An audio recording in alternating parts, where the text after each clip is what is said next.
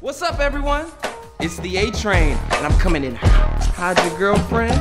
Run through your heart, and at number one, I mean, it's not much of a surprise. It's faster again. Let's